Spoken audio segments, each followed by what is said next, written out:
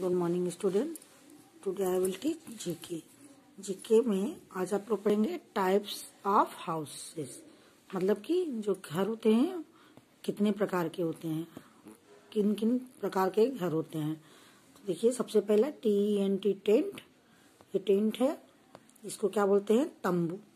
जो कपड़े उपड़े से तंबू लगाते हैं जगह जगह पे ये घर, कहीं भी आप लगा सकते हो एक जगह से दूसरी जगह भी लग सकता है। ये है आई जी एल डबल ओ इग्लू।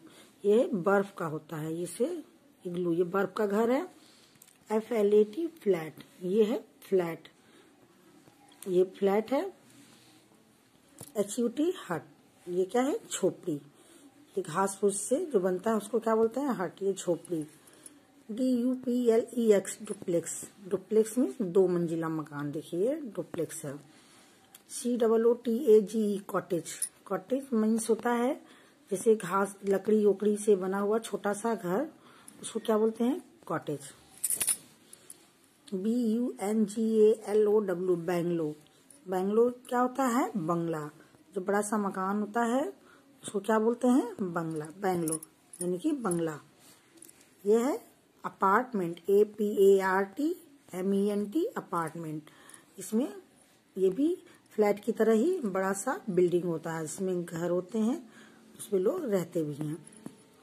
फिर से देखिए, tent, igloo, flat, hut, duplex, cottage bungalow and apartment. ये टाइप ऑफ़ हाउसेज हैं, यानी कि घरों के प्रकार, कितने प्रकार के घर होते हैं। देखिए, आपके क्वेश्चन टाइम में क्या पूछ रहा है? In which type of house do you live? आप किस प्रकार के घर में रहते हो? तो आप किस प्रकार के घर में रहते हो? आपको वो बताना है, फ्लैट में या बैंगलो में या हट में या डुप्लेक्स में। तो आप जिस तरह के घर में रहते हो, आपको वो बताना है।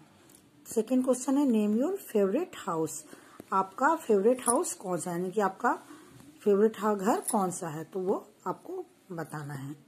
ओके ये है आपकी कॉपी इसमें आप लोग क्लास वर्क डालेंगे, आज की डेट डालेंगे। ये आपका हेडिंग है टाइप्स ऑफ़ हाउसेस तो पहला क्या है? T N T tent I G L double O igloo F L A T flat H U T hut C double O T A G cottage तो क्या है?